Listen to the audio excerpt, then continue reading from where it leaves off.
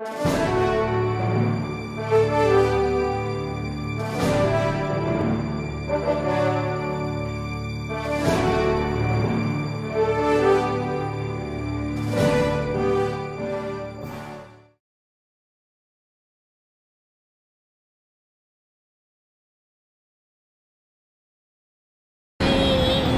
eh.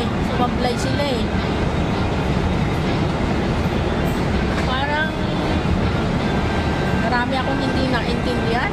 Parang ang gulo.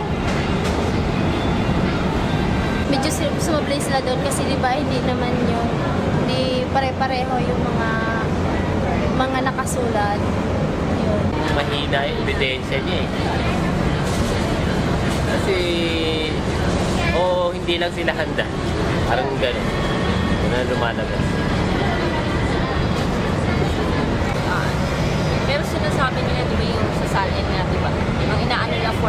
Properties, pero ang napapalabas lang na